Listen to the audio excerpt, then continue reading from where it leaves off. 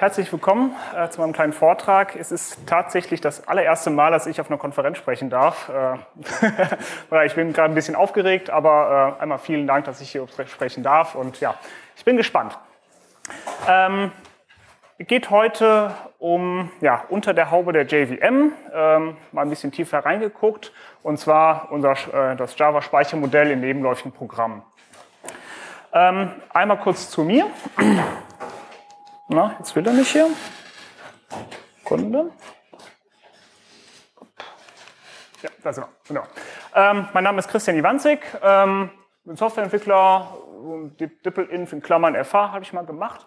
Äh, meine Steckenpferde zurzeit sind so ein bisschen halt alles, was sich um die JVM rumdreht, äh, Richtung Kotlin, Scala, äh, auch mal Java.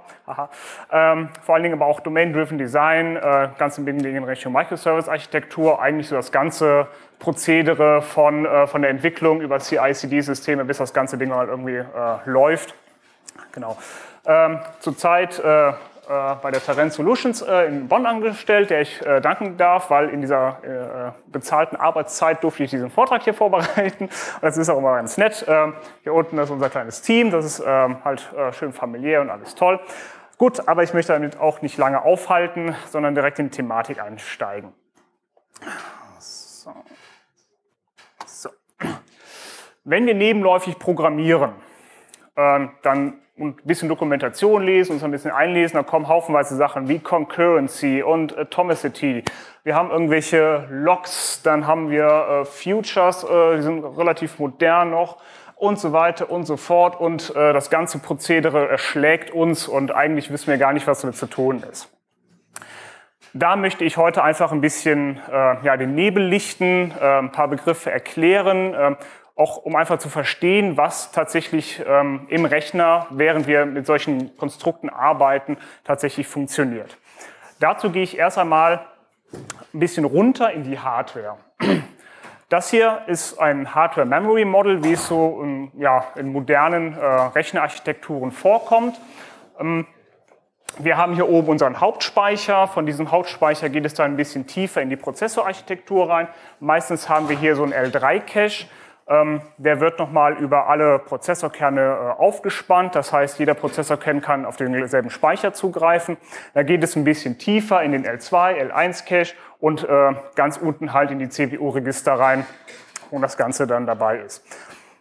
Jetzt ist es so, ähm, in der nebenläufigen äh, Welt haben wir hier ein bisschen Daten, da oben haben wir ein bisschen Daten, viele Kopien, weil Caches kopieren ja. Ähm, und da kann es dann halt zu Komplikationen werden. Jetzt ist dieses Hardware-Modell relativ kompliziert. Einfacher macht es uns da die JVM, denn äh, die JVM selber abstrahiert da sehr viel. Hier haben wir das Java Memory Model. Das ist ein bisschen vereinfacht.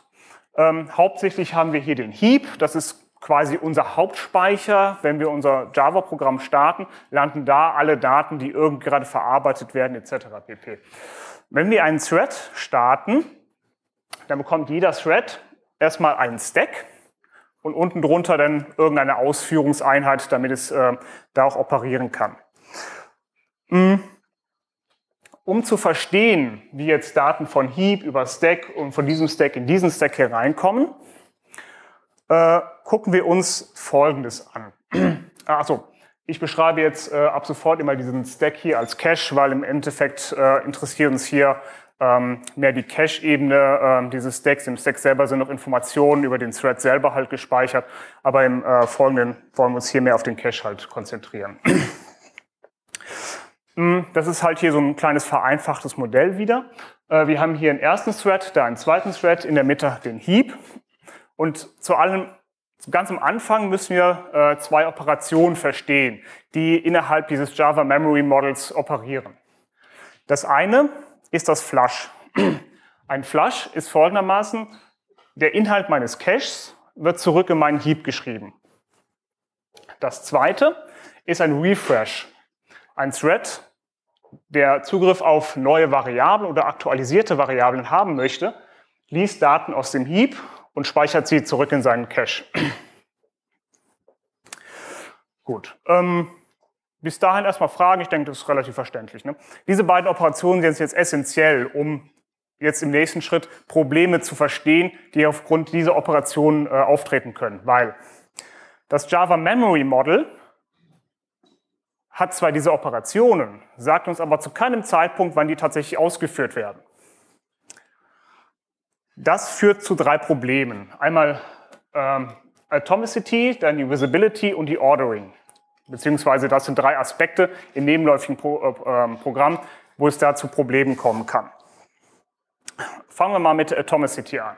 Ich habe hier so ein kleines ähm, ja, vereinfachtes äh, Programm geschrieben. Also wer jetzt kein Java kann, hoffe, er versteht es einigermaßen. Äh, ich habe es versucht, ein bisschen äh, un-Java-lastig zu sein. Ähm, arbeite mal gerade mit dem hier. Wir haben hier eine Number und ein Flag. Wir haben hier eine Methode, die in Thread 1 läuft, hier eine Methode, die in Thread 2 läuft. Die Number wird hier auf einen sehr langen Long gesetzt, das Flag of True. Bei dem Read wird gefragt, ist Flag True? Wenn ja, gib bitte auf der Konsole oder halt ähm, Standard Out den Wert von Number aus. Ich erwarte, dass, wenn dieser Thread hier läuft, äh, dieser, diese beiden Werte gesetzt werden und hier, wenn das Flag halt true ist, dann soll aus, ausgegeben werden. Jetzt gehen wir zurück in unser Modell. Ich habe hier den ersten Thread, dort den zweiten Thread. Ich setze das auf diesen sehr langen Long. Hier gebe ich aus. Was erwarte ich hier? In diesem Long, wissen wir alle, haben 64 Bit. Dieses 64 Bit, jetzt müssen wir ein bisschen umdenken in frühere Zeiten, als es noch 32-Bit-Systeme gab, ähm, besteht vor allen Dingen in einem 32-Bit-System und das passiert tatsächlich mit allen Datentypen, die irgendwie größer als meine Architektur sind, ähm, basiert auf 32-Bit-Systemen aus zwei Zuweisungen. 2 mal 32 Bit. Das heißt, in einem Prozessorzyklus wird der ein, eine Wert gesetzt, die ersten 32 Bit.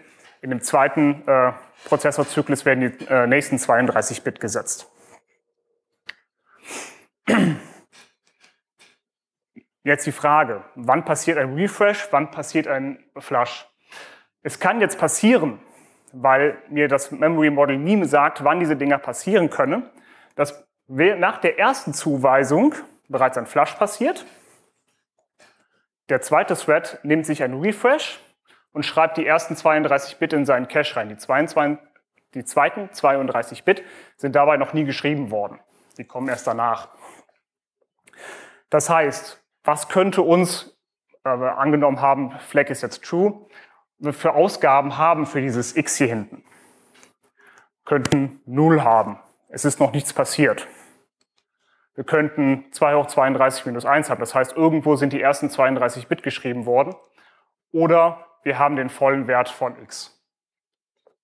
Das sind jetzt Probleme, die tauchen tatsächlich auf der Entwicklermaschine unheimlich selten auf. Ganz einfach, weil wir da keine Last haben. Wir haben relativ, äh, wenn wir eine nette Firma haben, ordentlich Power in der Maschine. Ähm, wird da nicht auftreten. Auch in, auch in Produktion werden wir das eher selten passieren. Aber jetzt passiert es, dass irgendwie das Marketing hat eine neue Werbestrategie rausgebracht, die Kunden rennen uns die Bude ein und es ist ordentlich Last auf der Produktivmaschine. Die Kerne sind alle komplett bis Anschlag ausgelastet und dann passiert auf einmal sowas hier. Und dann stehen wir da. Oh, wo ist der Fehler? Finde ihn. Entwicklermaschine hat ordentlich Dampf, keine Last, tritt nicht auf. Und das da kommt es dann wirklich zu äh, Problemen. Gut, gehen wir weiter. Die Visibility, das war jetzt Atomicity, also die atomaren Eigenheiten von, von Operationen. Die Visibility. ähm, genau, darum. Hier gucken wir uns jetzt mal etwas näher das Flag an. Ähm, die Visibility beschreibt die Sequential Consistency. Die ist ein bisschen ähnlich zu Atomicity, von daher äh, werden wir jetzt hier relativ ähm, äh, ähnliche Sachen haben. Aber auch hier spielt wieder dieses Flush und dieses Refresh rein. Was passiert nämlich? Der Thread 1 schreibt das Flag of True. Mein letzter Flush ist aber irgendwann vor dieser Operation passiert. Danach kommt erstmal lange Zeit nichts mehr. Der Thread 2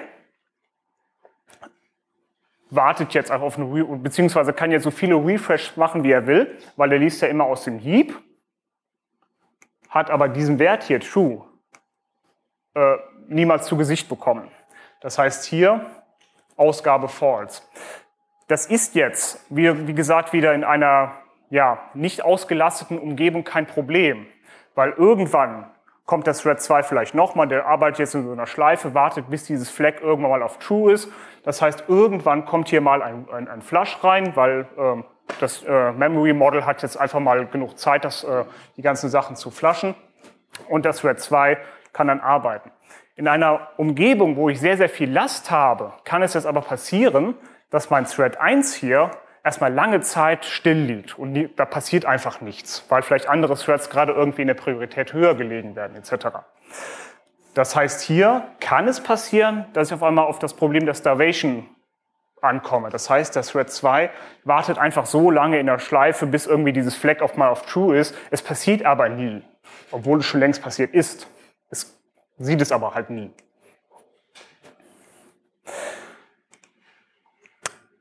Zweite Problem, die Ordering. Das ist eins der ja, fiesesten Probleme, die man so, ähm, von dem man hören kann. Was passiert dabei? Ähm, ich habe hier ein x, setze ich wieder auf meinen ziemlich großen Long-Wert und mein Flag True. Mein zweiter Thread gibt jetzt einfach mal beide Werte aus. Ist auch alles gut. Beim ersten äh, Thread 1 mache ich ein Flush, das heißt, die ganzen Teil, äh, Daten kommen rein. In meinem zweiten Thread kann es aber passieren, dass ich nur einen partiellen äh, Refresh bekomme. Das heißt, dieses Reordering ist folgendermaßen definiert. Innerhalb meines Threads passiert die Reihenfolge der Operationen genauso, wie ich sie hingeschrieben habe. Das garantiert mir das, die CPU und auch das Speichermodell. Da passiert nichts. Sobald ich aber aus diesem Thread rausgehe in einen anderen Thread, passiert ganz, ganz viel tolle Magie. Die Compiler, die, beziehungsweise die, äh, das, die JVM optimiert, Compiler optimiert, selbst der Prozessor unter der Haube macht nochmal äh, gegebenenfalls Reorderings. Wenn er irgendwelche, ich mache zum Beispiel eine Zuweisung zu einem Int, danach mache ich irgendeine Berechnung, mache nochmal drei Zuweisungen zu Ints und, die, und äh, die CPU sagt, ja Moment mal, wenn du fünf Zuweisungen zu Ints hast, die kann ich in eine Operation irgendwie zusammenbasteln oder solche Sachen. Kann passieren. Das heißt, die CPU macht da ein Reordering rein. Und auch das, äh, die JVM. Heißt für uns, sowas kann passieren. Das heißt, ich habe eine Ausgabe mit dem Wert 0 und Flag ist true, obwohl die hier in einer anderen Reihenfolge ähm, abgearbeitet wurden. Kann passieren. Innerhalb meines Threads ist alles safe. Da bin ich sicher.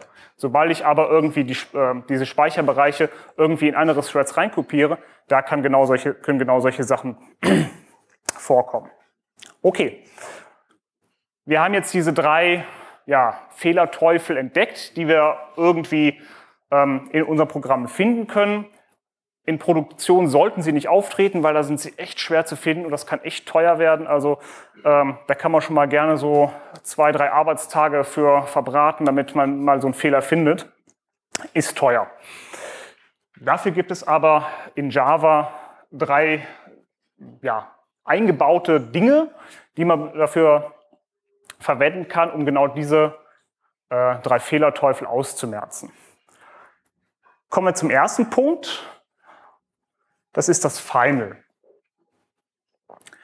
Das Final kennen wir aus Java äh, meistens für Konstanten. Das heißt, ähm, ich deklariere eine Variable als Final, weil, äh, weise ihr einen Wert zu und diesen Wert kann ich nie wieder ändern. Ist halt konstant. Das Final ist aber nicht einfach nur ein Syntactic Sugar oder ein Compiler-Feature, das ich habe, sondern das, das steckt tatsächlich tief im Bytecode drin, weil es hat direkten Einfluss auf das Java Memory Model. Was passiert nämlich bei einem Final? Bei einem Final, äh, wenn ich einem Final einen Wert zuweise, passiert sofort ein partieller Flush genau für diese Final-Variable. Weil das Java Memory Model uns garantiert, eine Final-Variable, sobald sie einen Wert zugewiesen hat, ist sofort im äh, Heap vorhanden. Das garantiert es uns. Kleines Beispiel wieder hier. Hm. Ich habe hier meine Klasse Final Concurrent, die macht genau das. Die hat eine Final x und ein int y. Ich habe hier einen ersten Thread, die initialisiert hier mein Final Concurrent. Und ich habe einen zweiten, zweiten Thread, der sagt, wenn f ungleich 0 ist, dann gib mir x und y irgendwie aus oder weiß oder mach irgendwelche Berechnungen damit. Sobald das hier passiert ist, Final ist gesetzt, es passiert sofort ein partieller Flush. Hier lese ich jetzt von einem Final-Wert und das Java Memory Model garantiert mir auch hier, wenn ich in einem anderen Thread bin, der von diesem x hier noch nie was gehört habe, dann mache ich sofort einen Refresh auf diese Variable, um diesen Wert zu bekommen. Da sie final ist, ähm, sagt mir, äh, da sie final ist, garantiert mir das Java Memory Model, dass sich auch an diesem Ding nichts mehr ändern wird. Das heißt, jede weitere Leseoperation braucht keinen Refresh mehr zu machen, weil das äh, JMM oder Java Memory Model uns garantiert, dass dieser Wert sich niemals ändern wird. Bei y hier unten ist der Fall anders. In dem Thread hier kann ein Flush passieren, es muss aber nicht sein. Wenn mein zweiter Thread von y noch nichts weiß, mache ich erstmal einen Refresh und der Refresh sagt mir dann, ja, kenne ich nicht, also ist das der Standardwert, ist 0. Da passiert nichts. Heißt für uns, wenn ich irgendwelche Werte habe, Referenzen auf Objekte und mir sicher sein will, dass diese Sachen wirklich überall gleich sind und ich in dem guten Fall bin, dass die sich dieser Wert nicht mal ändert, machen wir einfach ein Final dran. Das ist tatsächlich nicht teuer, weil ein Refresh und ein Flush ist halt immer relativ teuer, weil die Threads müssen blockiert werden, da müssen Daten geschrieben werden, Heap muss aktualisiert werden etc. Ähm, das Final passiert aber genau nur einmal, nämlich dann, wenn der Wert initialisiert wird. Das passiert meistens irgendwo am äh, Anfang des Programms oder wenn äh, ein Objekt initialisiert wird. Da gehe ich davon aus, dass das ein bisschen äh, Overhead braucht. Einfach machen, ähm, und es passiert. Tatsächlich bin ich momentan äh, so ein bisschen auf der Agenda einfach so viel Final wie möglich und so wenig wie nötig halt da ist. Also ich versuche möglichst viele Variablen einfach Final zu deklarieren, gerade wenn ich im Concurrent-Umfeld bin, was ja immer, immer mehr kommt, ähm, um da einfach relativ safe zu sein von den Werten, die ich habe.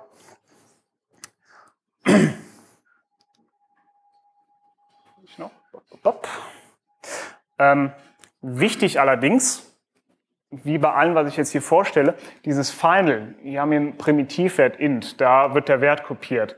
Wichtig, das ist eine Referenz. Also wenn ich eine Referenz auf ein Objekt habe, gibt dieses Final nur für die Referenz, nicht für das Objekt, das da drin ist. Wenn das Objekt selber keine Final-Variablen hat, äh, wird zwar die Referenz auf das Objekt äh, geflasht, aber die Inhalte von dem Objekt vielleicht nicht. Also da Vorsicht. Kommen wir zu dem nächsten Vertreter, das Volatile. Ähm, sieht man relativ selten tatsächlich, obwohl das eigentlich ein sehr schönes ähm, Konstrukt ist, das uns da äh, Java an die Hand gibt. Genau, da. Was macht dieses Volatile? Ein Volatile ähm, garantiert uns Folgendes. Sobald ich ein Volatile schreibe oder ihm einen Wert zuweise, passiert sofort ein Flush in den Heap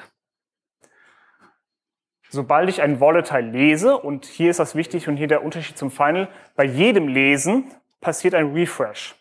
Das heißt, dieses Volatile ist relativ teuer in der Benutzung, also während der Laufzeit. Von daher dieses Volatile immer da benutzen, wo ich wirklich ähm, ja, gescherten State habe, also da, wo ich wirklich äh, von mehreren Threads gen genau auf diesen Wert zugreife ähm, eignet sich tatsächlich für irgendwelche ähm, Steuerflex oder sowas. Da kann man das sehr gut einsetzen, weil auch hier wieder gilt, äh, diesmal habe ich es hingeschrieben, für Primitivwerte wird dann natürlich sofort der Wert geflasht, für Referenzen nur die Referenzen.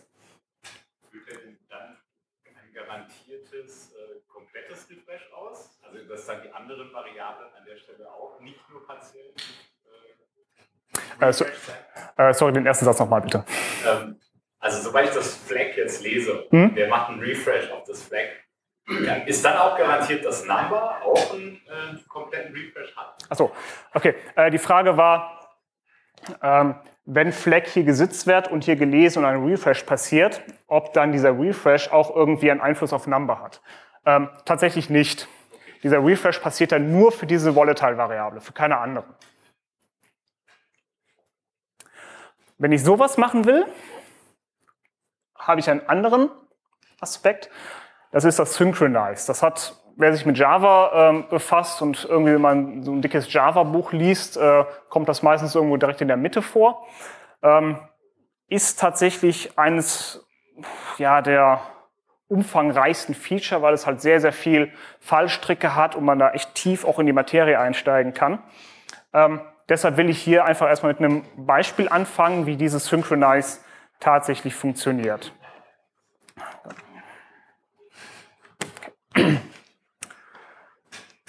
Wir haben einen Thread 1 und Thread 2 und jetzt kommen einfach kleine Operationen ran. Der Thread 1 macht die Operation A, der Thread 2 macht die Operation 1. Dann kommt die Operation B, unten kommt die Operation 2. Dieses Synchronized arbeitet jetzt mit sogenannten Logs. Das sind einfach ähm, Objekte, das kann hier oben einfach so ein New Object sein, ähm, die mir garantieren, dass dieser Log genommen werden kann, aber auch wieder zurückgegeben werden kann. Sobald ich ihn habe, kann ihn kein anderer nehmen. Genauso, wenn ich ihn zurückgebe, kann ihn dann ein anderer nehmen. Das Java Memory Model ähm, ja, klebt quasi an jedes Objekt, das ich irgendwo in meinem Java-Programm äh, benutze, so ein Log an jedes Objekt dran. Das heißt, ich kann tatsächlich jede Referenz auf Objekte auch als Locking-Mechanismus verwenden. Wie funktioniert das jetzt im äh, Synchronize-Umfeld? Ähm, ich habe hier oben meinen X und der erste Thread sagt, ich möchte gerne deinen Log haben. Das X sagt, okay, bekommst du. Jetzt kommt der zweite Thread an, sagt, ich hätte auch gerne deinen Log. Objekt sagt, kannst nicht, Thread 1 hat das. Das heißt, dieser zweite Thread wartet jetzt so lange, bis es diesen Log irgendwie bekommen kann. Der erste Thread hat ihn, arbeitet munter weiter, macht seine Operation C, während der zweite Thread einfach wartet. Der erste Thread ist jetzt fertig und sagt, okay, ich mache ein Unlock. Der zweite Thread, der die ganze Zeit wartet, wunderbar, bekomme ich. Und kann mit seinen weiteren Operationen arbeiten. Was passiert da jetzt in unserem Speichermodell, also Refresh und Flush? Sobald ich dieses Synchronize benutze, jetzt kommt äh, der Punkt von eben, ähm, wird diesen, äh, dieses Flush- und äh, Refresh-Operation nicht nur auf einzelne Variablen ange äh, äh, angewendet, sondern auf den kompletten Cache meines Threads und auch auf den kompletten Heap. Das heißt, sobald ich einen Log bekomme von einem Objekt, macht das Java Memory Model erstmal einen kompletten Refresh von dem, was ich gerade im Cache habe. Das heißt, ich habe vielleicht ja nur 10% der Variablen, die sowieso nur im, äh, im Heap sind, aber die kenne ich. Und von denen möchte ich jetzt gerne den aktualisierten Wert haben. Java Memory Model sagt, okay, du hast Synchronize benutzt, du bekommst einen kompletten Refresh von allen Daten, die du gerade im Cache hast. Das heißt, hier kannst du sicher sein, dass du alle aktualisierten Daten hast. Sobald ich das Unlock mache, passiert das Gegenteil. Es passiert ein Flush. Auch hier sagt das Java Memory Model, alles klar, dein Programm hat jetzt gearbeitet, du hast die Daten verändert, dein Log wird jetzt freigegeben ich flush jetzt erstmal den kompletten Cache zurück in den Heap. Hat den Grund, wenn jetzt Thread 1 an dem C irgendwelche Daten verändert hat, die auch den zweiten Thread betreffen, bekommt er hier unten an der Stelle direkt seinen Refresh, das heißt alle aktualisierten Daten, die er gerade im Cache, äh, also andersrum, alle aktuellen Daten von den Variablen, die im Cache sind, aus dem Heap heraus. Wie sieht das Ganze im Code aus? Erstmal bis hierhin soweit verstanden. Cool. Hm. Ich habe hier eine Liste von Strings. Das ist mein Shared State. Das ist also ein Wert, der von mindestens zwei Threads irgendwie beschrieben und gelesen werden kann. Ich habe meinen ersten Thread. Der, wir gehen jetzt davon aus, hier drumherum ist eine Klasse ähm, und kann diese Methode jetzt hier mit einem Synchronized äh, versehen. Der Log, der jetzt hierbei ist, das ist in diesem Fall die Sys-Referenz, also die Referenz auf, meine umgeben, auf, auf, äh, auf mein umgebendes Objekt. Ich habe hier so eine relativ teure Operation und sage dann dem Shared State, bitte adde mal den Namen, der hier übergeben wurde. Ich habe einen zweiten Thread, ähm, hier PopSync, die ist auch synchronized. Auch hier ähm, gehen wir davon aus, äh, die Methode ist in derselben Klasse wie ähm, diese Methode drin, auch in demselben Objekt. Also äh, Synchronize arbeitet jetzt mit derselben Sys-Referenz. Das heißt, hier haben wir den gemeinsam genutzten Log und sagt einfach, wenn der, wenn der Shared State nicht empty ist, dann remove bitte ein Element, äh, returne mir das, ansonsten äh, not available oder sowas. Kann ich so machen, ist kein Problem. Mein Shared State ist sicher. Er ist in diesem Synchronize-Block. Hier schreibe ich rein, er ist in diesem Synchronize-Block. Äh, hier schreibe ich wieder was raus. Wir haben einen gemeinsam genutzten Log. Alles kein Problem. In der Praxis ist, habe ich dann aber folgendes Problem. Ich habe hier eine Expensive Operation.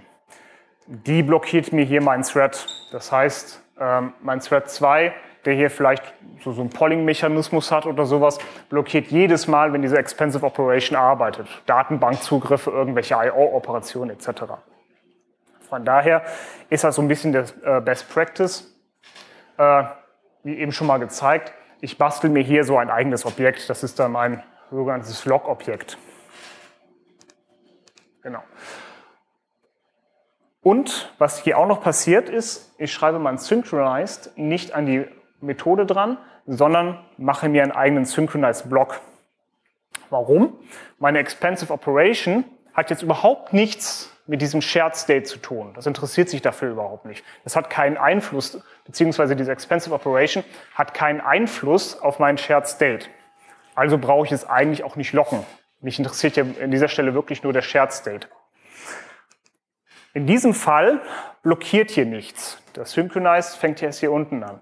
Ich kann hier in der Klammer mein Log-Objekt angeben, also das Objekt, von dem ich wirklich das Log haben möchte. Synchronize geht hin und sagt, okay, hallo Log, Objekt, gib mir dein Log. Log wird blockiert, ich kann mein Shared State äh, mit Daten befüllen. Auf der anderen Seite genauso. Ich habe jetzt hier wieder Synchronized. Ich benutze hier das Log-Objekt, das ist dasselbe. Kann wieder auf meinen Shared Set zugreifen und bin mir hier sicher, dass an jedem Zeitpunkt, wo ich auf diesen Shared Set zugreife, ich entweder immer die aktuellen Daten habe oder dass, nachdem ich etwas damit zu tun gehabt habe, das ganze Ding sofort in den Speicher zurückgeschrieben wird. Hm?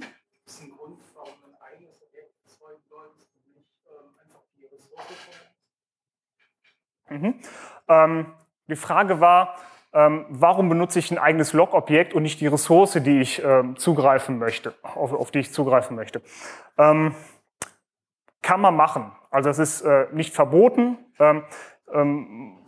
Ist jetzt vielleicht so ein bisschen meine subjektive Meinung an der Stelle ist, ähm, ich möchte gerne ähm, die fachliche Trennung an der Stelle haben. Mein Shared State hat vielleicht einen anderen fachlichen Objekt als mein technischen Locking-Mechanismus. Und da hätte ich gerne so ein äh, Log-Objekt. Auch vom Lesefluss finde ich das da ein bisschen einfacher, weil ich habe eine benannte Variable, die heißt Log oder Concurrent Log oder sowas. Das zeigt mir als Leser, Achtung, oh, hier passiert irgendwas mit Concurrency. Hier muss ich vielleicht ein bisschen genauer hingucken. Wenn ich das nur mit dem Shared State mache, dann kann ich das vielleicht überlesen. Dann, okay, Shared State add, remove, log, äh, synchronize Shared State hm, hm, hm, und überlese das vielleicht ein bisschen. Mit diesem Log habe ich direkt eine Variable, die so heißt und mir, mir als Leser, bis jetzt Entwickler in dem neuen Team, kommst rein, erste Mal liest du den Code, oh, Syn äh, äh, Concurrency Log, da passiert irgendwas Nebenläufiges. Und dann hast du einfach direkt ein bisschen mehr Augenmerk darauf. Okay. Ähm, ja. Genau, explizites Locking hier an dieser Stelle. Ähm, wichtig ist bei diesem Synchronize, wie eben schon gesagt, äh, ich flasche den kompletten Cache in den Heap. Bei dem Refresh aktualisiere ich die ganzen Variablen nochmal aus dem Heap zurück. Synchronize ist sehr teuer in der Laufzeit. Auch kann es passieren, wenn ich jetzt den Thread 1 habe und den Thread 2, äh, Thread 2 das sind jetzt nur zwei Threads. Ich habe aber vielleicht einen Schreibenden und 500 Lesende. Wenn ich alle mit Synchronize mache, blockiere ich jedes Mal das komplette Objekt, immer nur ein Thread darf darauf zugreifen. Das kann sehr imperformant werden. Ähm, was man da jetzt noch ähm, äh, gegen machen kann, zeige ich jetzt als nächstes noch. Genau. Kommen wir mal noch zu ein paar Patterns. Also diese drei Sachen waren jetzt die Teile, die wirklich fix in die Sprache eingearbeitet wurden. Es gibt aber auch Libraries, die diese Features benutzen, aber auch Patterns, die man verwenden kann, eben genau mit diesen Eigenschaften. Das erste ist Immutable Objects. Bin ich mittlerweile echt großer Fan von, weil die Dinger echt einfach sind und gerade in der nebenläufigen, im nebenläufigen Umfeld mir verdammt viel Arbeit abnehmen können. Ich habe hier mal so ein Beispiel mitgebracht. Das ist eine Person, die hat ein First Name, ein Last Name, äh, so ein Birth Date. Wichtig dabei ist, nicht nur Person muss immutable sein, sondern auch die Objekte da drin. Ich habe jetzt hier, äh, ich habe die äh, absichtlich mal Public Final gemacht äh, und da nicht mit Getter Setter zu arbeiten, weil ich die tatsächlich in diesem Pattern finde ich dann Getter echt Boilerplate. Ähm, ich habe alle Referenzen final gemacht. Heißt, wenn ich dieses Objekt erzeugt habe, kann ich sicher sein, an diesen Referenzen wird sich nie wieder etwas ändern. Ich habe jetzt als Entwickler darauf geachtet und benutze intern Typen, die ebenfalls immutable sind. Tatsächlich ist das so, ähm, seit Java 8 ist ja auch jetzt ähm, Java Util Time oder Java Time äh, halt, halt Einzug gehalten. Und diese ganzen äh, Datumsklassen zum Beispiel, das ist dieses Local Date hier unten, sind schon explizit immutable. Das heißt, da wird auch in der Java Library äh, neuerdings immer mehr darauf geachtet. Muss ich natürlich reingucken in meine Library. Ist sie wirklich immutable? Ist die Concurrency sicher etc.? Das ist so ein bisschen die Krux, wenn ich da mit Libraries arbeite. Da muss ich die Dinger natürlich sehr gut kennen, auch mal in den Code reingucken, äh, in der Hoffnung, dass er Open Source ist und nicht irgendein proprietäres Zeug. Ähm, und gucken, dass die Dinger wirklich immutable sind. Wenn ich gute Library-Schreiber habe, die schreiben mir das in die Kommentare, dass diese Klasse immutable ist und im Concurrency-Umfeld verwendet werden kann. Viele tun es nicht und dann gucke ich mir erstmal genauer den Code an. Aber gut, passiert das, das Geburtsdatum wird weitergesetzt, nicht das Alter. Nur falls du die Folie noch verwenden.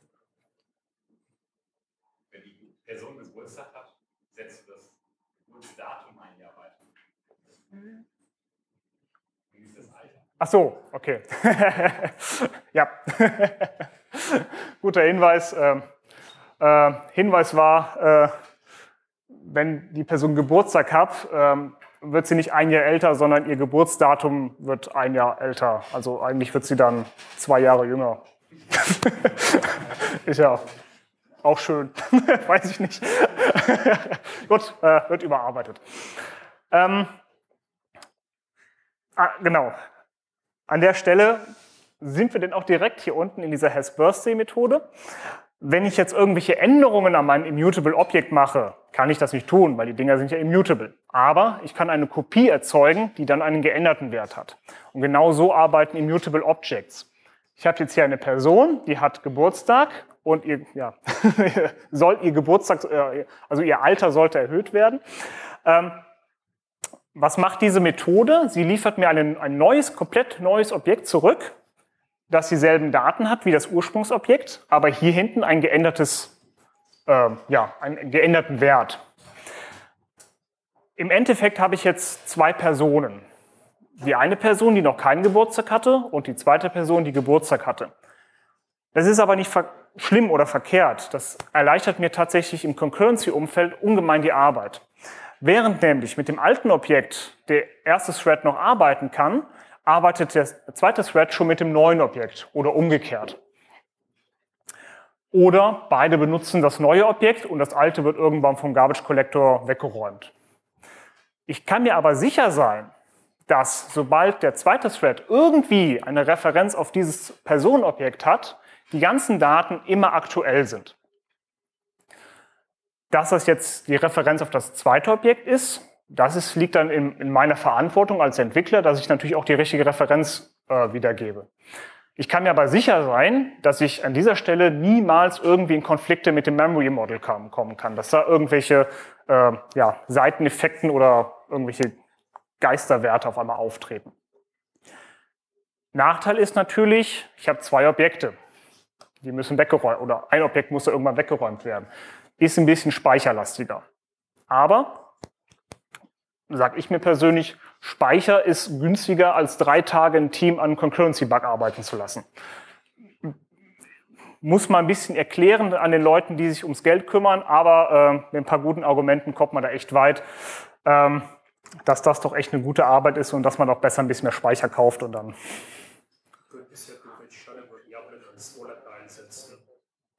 Was würdest du denn vor allem bevorzugen? Ähm, die Frage, Genau, äh, die Frage war, ich könnte ja auch alle Variablen einfach als Volatile setzen. Ähm, kann ich hier tatsächlich machen, funktioniert genauso gut.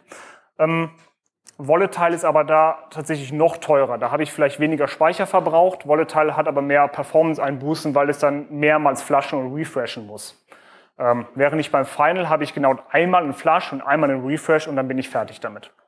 Das ist so, kann man machen. Also wenn man eher sagt, ich will Speicher ich habe weniger Speicher, dafür aber ein bisschen mehr Prozessor-Power, kann man das gerne mit, mit Volatile machen. Andersrum, ich habe mehr Speicher als Prozessor oder so, oder mir ist jetzt Speicher, Performance wichtiger als Speicher, kann ich halt mit äh, Mutable-Objekten arbeiten. Genau, verändernde Methoden liefern Kopien. Ähm, sieht man mittlerweile auch in äh, moderneren Sprachen, jetzt allen voran zum Beispiel weil ich es einfach jetzt in letzter Zeit ein bisschen mehr äh, häufiger benutze in Kotlin, gibt zum Beispiel solche äh, Data Classes. Die Dinge haben eine fest eingebaute Copy-Methode, wo ich dann tatsächlich eine direkte Kopie mitgeben kann und ich kann dann über äh, Parameter dann einzelne Werte verändern und, und habe genau dieses Pattern hier direkt mit dabei. Ähm, mit dem Volatile ähm, gibt es hier noch einen kleinen anderen Aspekt. Ähm, wenn ich so ein Immutable Objekt habe und irgendwo eine Referenz drauf sitzen habe, irgendeine Variable, kann ich diese Variable natürlich als Volatile äh, markieren und sobald diese Referenz gesetzt wird, wird die im kompletten Heap äh, verbreitet und ich habe sofort Zugriff auf mein Immutable Object. Auch da, wenn der, die Person jetzt Geburtstag hat, setze ich einfach die neue Variable oder diese neue Referenz auf diese äh, Volatile-Variable. Und auch hier verbreite ich sofort im Heap die neue Referenz auf diese neue kopierte Version und jeder Thread kann damit arbeiten. Sofern ein anderer Thread noch irgendwo eine Referenz auf das erste Objekt hat, ähm, weil es das vielleicht irgendwie verarbeitet, gerade irgendwie in die Datenbank persistiert, tut das nicht weh. Es hat immer noch seine alten Daten, es weiß noch nichts davon und bei der nächsten Speicheriteration bekommt es dann die neue Referenz und kann die speichern. Genau, so sieht das aus. Ich habe hier so ein Volatile Person, setze das, äh, Person hat äh, Geburtstag, die Referenz wird hier direkt aktualisiert und unten kann ich eine Get machen und bin sicher, dass dieses Get immer ähm, eine ja, entweder eine alte Referenz oder eine neue Referenz hat, aber es hat keine irgendwie Seiteneffekt behafteten Zwischenstände oder sowas da drin. Ich muss mich hier nicht um Synchronisierung oder sowas kümmern. Genau. Dann gibt es mittlerweile ähm, ja, einen Haufen Concurrency Libraries, ähm, allen voran halt ähm, die Java Concurrency Library, die seit Java 8 äh, halt äh, ja, stark überarbeitet wurde. Ähm, wie ich finde, sehr gut. Äh, man kann tatsächlich jetzt äh, viele neue äh, Features einsetzen. Eins von beiden ist diese Executor Services. Es gibt hier so ein statisches äh, Objekt oder ein Objekt mit statischen Methoden, worauf ich mir halt Executor Pools ähm, oder Thread Pools direkt erzeugen lassen kann. Ähm, hat da den großen Vorteil, ich kann mit so einem Thread Pool relativ schnell diesen Thread Pool erzeugen. Die Threads laufen direkt mit dabei. Und ich kann jetzt mit diesem Executor Service über so Lambda-Konstrukte oder Runnable-Objekte, äh, wenn ich solche Sachen habe, kann ich diesen Executor Services sagen, okay, du hast hier irgendwas, was du in irgendeinem Thread ausführen kannst, mach. Und dieser Executor Service macht es für mich. Er hat in dem Fall 128 Threads, das ist ein bisschen viel. Normalerweise habe ich dann so vier oder acht oder keine Ahnung was. Ähm, nimmt sich halt irgendeinen laufenden Thread und weist dem dieses Runnable oder dieses, dieses Lambda einfach zu und äh, arbeitet den ab. Warum mache ich das? Ähm, ich kann in dem Fall, ähm, beziehungsweise diese Executor Services geben mir dann ein sogenanntes Future-Objekt zurück. Weil, was ist die Philosophie dahinter? Ein Executor Service bekommt irgendein Ausführungsteil, soll es ausführen. Diese, dieses Teil macht vielleicht irgendwelche Berechnungen, gibt mir ein Ergebnis von Typ T zurück und in dem Fall hier von Person und gibt mir daraufhin ein Future von Person zurück. Das heißt, hier habe ich ein Some Future Person. Dieses Future beschreibt mir einfach Folgendes. Diese Person, die in diesem Future drin ist, die kann jetzt berechnet sein, sie muss aber noch nicht berechnet sein. Das kommt irgendwann in der Zukunft. Aber du kannst jetzt schon mit dem Ergebnis äh, arbeiten, indem du mir einfach weitere Berechnungsschritte gibst und ich arbeite die einfach äh, der Reihe nach ab, sobald ein Ergebnis vorliegt. Das kann ich hier unten machen. Ich habe hier mein SumFuturePerson. Dann rufe ich auf dieses Objekt die SendApply-Methode auf, übergebe hier wieder ein Lambda und sage dieser Person, hab bitte Geburtstag. Was dann passiert ist, dieses SumFuturePerson gibt wiederum ein Future zurück und diese Person, die hier drin ist, die wird ein Jahr älter sein. Dieses Lambda hier unten aber wird es dann ausgeführt, wenn dieses Lambda hier oben, also mit dem Thread Sleep 400, irgendwann mal ausgeführt wurde. Warum mache ich das? Achso, hier unten, ähm, ich habe dann hier so eine kleine Get-Methode. Erst hier blocke ich dann und warte hier wirklich auf das Ergebnis. Was kann ich damit machen? Ich kann mit solchen Objekten ähm, beziehungsweise mit solchen äh, Lambda-Ausdrücken, und sofern ich hier drin halt äh, relativ immutable arbeite, kann ich sehr viel Concurrency-Arbeit einfach auslagern. Heißt, ich habe irgendwie ein Web-Client, ein Datenbankzugriffteil, die möchte ich irgendwie in einen eigenen so Blocking-Thread einfach auslagern, bekomme ein Future von irgendwelchen Sachen zurück, gebe denen dann einfach die weiteren Berechnungsschritte an und sage denen dann, okay, wenn das Ergebnis irgendwann mal da ist, in den nächsten 200 Millisekunden, morgen, nächste Woche, dann führe diese Berechnungsschritte aus. Ich muss mich hier nicht mehr darum kümmern, dass ich äh, ein Ergebnis bekomme oder vielleicht nicht bekomme, dass ich irgendwelche Polling-Mechanismen ha äh, habe, dass ich irgendwie einen, einen Locking-Mechanismus habe, der irgendwie auf diesen noch nicht vorhandenen oder gewarteten äh, äh, Zustand hat und kann hier sehr gut ähm, ja, einfach meine Arbeit auslagern. Hopp. Wenn ich aber trotz allem ums Locking nicht, zu, äh, nicht drum komme und hier die ganzen Patterns nicht helfen, dann gibt die Concurrency Library mir aber auch ein paar andere Helferlines, damit das einfach, ja, diese ganzen äh, Locking-Sachen einfach, ja, einfach ein bisschen einfacher werden. Wir hatten ganz am Anfang ähm, den Fall mit dem 64-Bit-Long der auf 32-Bit-Maschinen so zwei Operationen hat. Damit diese Operation atomar ist, das heißt, dieses Long, äh, diese Zuweisung auf einem Long halt äh, atomar bleibt, auch inkrementell oder Inkrements davon auch atomar bleiben, gibt es das Atomic Long. Die gibt es auch für äh, int, double etc. Dieses Atomic Long kann ich mit einem Wert initialisieren.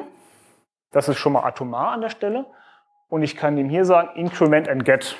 Diese Methode blockiert tatsächlich diesen Wertebereich, inkrementiert den Wert und gibt ihn mir zurück. Diese ganze Operation ist an der Stelle wirklich atomar. Das heißt, ich kann mir hier sicher sein, dass zwischen dem Inkrement des eigentlichen Wertes und vielleicht diesem Return-Wert dabei ist, ähm, niemals irgendwelche Seiteneffekte auftreten können. Fürs Locking gibt es ähm, sogenannte ja, direkte, äh, direkte Log-Klassen. Hm. Da spielt wieder ähm, dieses, ähm, ja, an der Stelle auch einfach diese, diesen äh, fachlichen Aspekt rein, dass ich ein eigenes Log-Objekt habe. Es gibt dann einfach für die ähm, in der Java Concurrency Library dann verschiedene ähm, Typen von Logs. In dem Fall hier ein Reentrant-Log, den kann ich einfach hier mit einem New Reentrant-Log, das habe ich mir jetzt hier gespart, erzeugen. Und dieser Reentrant-Log hat zwei Methoden. Einmal Log und einmal Unlog. Und der macht mir tatsächlich an der Stelle nichts anderes als das Synchronize, was ich eben schon gezeigt habe. Es hat genau einen Lock. Mit Lock kann ich diesen Lock mir halt holen. Mit Unlock kann ich ihn wieder freilassen. Das Ganze hier auf zwei oder mehr Threads halt äh, gedacht, habe ich hier einen, einen sehr schönen äh, Locking-Mechanismus, den ich dann halt mit Methoden und Objekten vollführe, statt mit äh, direkten Sprachmechanismen. Unter der Haube benutzt das Ding aber genauso diese Synchronize-Mechanismen, die wir schon kennengelernt haben. Jetzt ist es aber ja so, ich habe 25 Threads, einer schreibt, alle anderen lesen. Die Lesen-Threads will ich eigentlich nebenläufig haben, weil wenn der Wert einmal gesetzt ist, kann den ja eigentlich jeder lesen. Wichtig ist ja immer dann nur dann, wenn ich diesen Wert verändere, das heißt eine Schreiboperation habe, dann möchte ich sicher sein, dass mir da kein Lesender irgendwie dazwischen funkt. Für diesen Fall gibt es den Reentered Read Write Log. Der hat einen schönen Aspekt. Ich kann mir nämlich mit diesem Log-Objekt erstmal ein zweites Read-Objekt und, und, äh, und oder ein Write-Objekt erzeugen. Das heißt, ich habe zwei Arten von Logs. Wie spielen die jetzt zusammen? Ich habe irgendwie ein Shared State, den möchte ich sehr oft lesen lassen.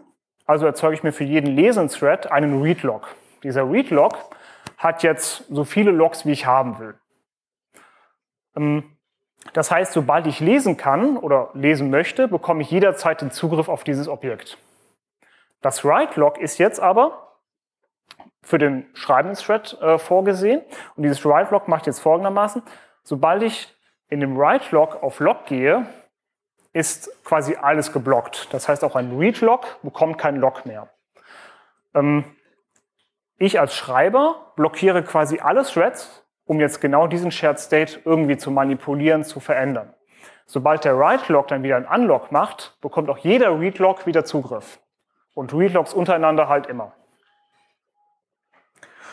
Hm, ein anderes, was man tatsächlich sehr oft findet, sind sogenannte Semaphoren. Muss ich persönlich dazu sagen, ich habe die Dinger noch nie eingesetzt. Ähm, es gibt sie aber. Ein Semaphor ist ähm, ja ein N-Log, sage sag ich mal, weil ich kann hier tatsächlich definieren, ähm, erzeuge mir einen Log, der drei Logs hat. Und ich kann diesem Semaphor sagen, acquire, acquire, acquire, bekomme jedes Mal einen Zugriff. Das vierte acquire blockiert, bis einer von denen hier wieder freigibt. Ähm, ja, könnte ich mir tatsächlich an der Stelle vorstellen, wenn ich eine ähm, ja, lesende Ressource habe, die aber ähm, nicht mit allzu vielen Thread bombardiert werden soll, weil die irgendwie äh, ein bisschen Berechnungen macht währenddessen etc., weiß ich nicht. Aber für solche Sachen könnte ich dann den, äh, den parallelen Zugriff auf Objekte ein bisschen reduzieren und da so einen künstlichen Flaschenhals erzeugen. Was es auch noch gibt, das ist jetzt ähm, an der Stelle halt äh, ähm, der ähm, ja, Java Collection API geschuldet, weil die Java Collection API ist halt von vorne bis hinten komplett mutable und da hat die Java Concurrency die sogenannte Copy und Write Array List. Was macht die? Eigentlich, was der Name sagt. Äh, sobald ich lese, passiert nicht viel. Sobald ich aber irgendeine Veränderung in der Liste habe, wird die komplette Liste einmal von vorne bis hinten kopiert. Die Änderung wird vollzogen und sie wird mir zurückgegeben.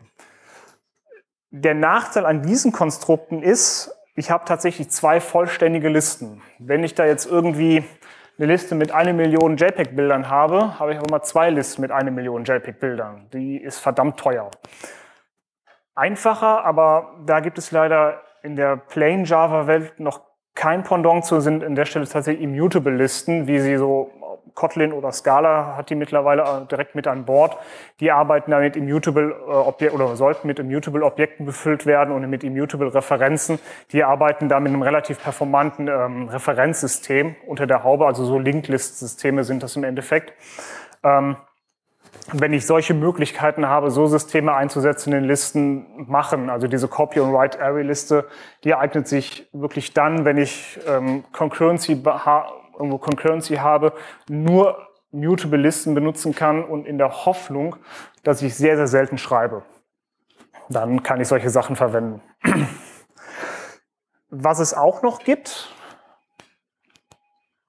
ja, da geht schon mal Wecker an, sind die Unmodifiable Lists. Das ist so ein kleiner Wrapper, den kann ich um eine vorhandene Mutable-Liste drumherum legen und ich bekomme eine ja, Liste, mit der ich nichts mehr machen kann, außer lesen. Ist hier ein bisschen blöd, weil ähm, die API ändert sich nicht. Das ist vom Typ oder von dem Interface List. Die hat immer noch die Add äh, und, und Remove-Methoden. Die schmeißt mir dann aber eine Exception.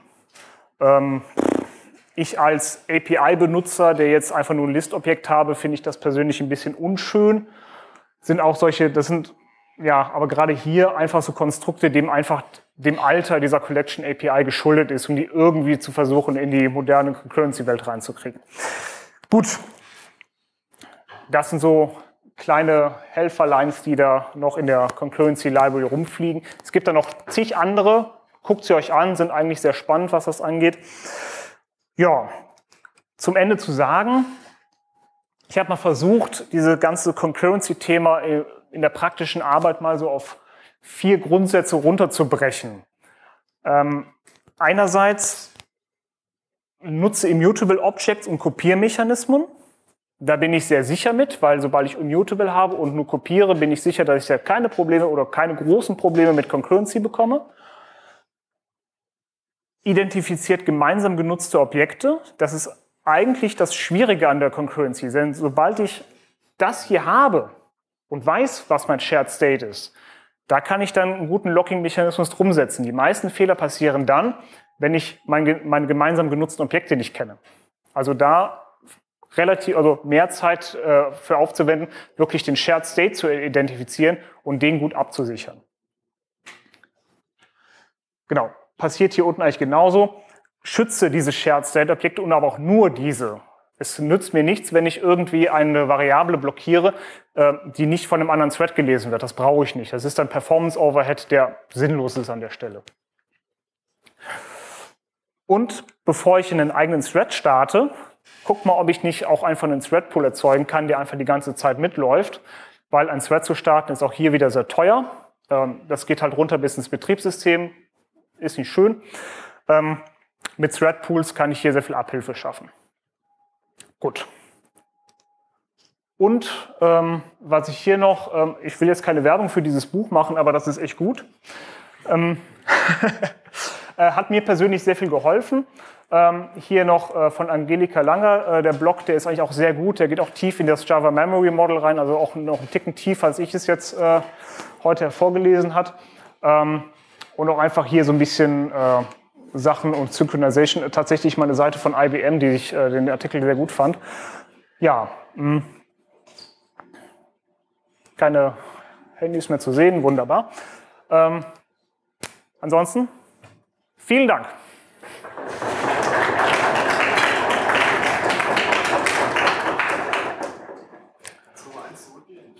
Ja, natürlich. Gut. Fragen, Punkte? Hm? Ja, in Complete Futures, das Send-Apply, in welchem Thread wird das ausgeführt? Wird das Gate aufgerufen oder wird das quasi mit in den Executor aufgerufen, der die eigentliche mhm. ähm, Die Frage war, ähm, in diesen Futures gab es die Send-Apply-Methode, die mir einen weiteren Ausführungsschritt nach meiner, nach meiner eigentlichen Ausführung passiert. In welchem Thread wird diese weitere Ausführung ausgeführt? Die Send-Apply-Methode in diesem Fall wird im selben Thread ausgeführt, wie auch der Ursprungs, die ursprüngliche Ausführung aus, äh, gemacht wurde. Ich kann aber auch Send-Apply Async machen. Die passiert dann in einem neuen Thread, der irgendwo passiert. Also ähm, äh, bei der einen blockiert mir quasi dieser andere Thread noch, mit dem anderen kann ich das Ganze dann äh, weitermachen. Ähm, der Ursprungsthread wird davon dann nicht berührt. Also da, wo das Future mal irgendwann erzeugt oder also die, die Aufgabe weitergegeben wurde. Okay. Okay, dann vielen Dank. Okay.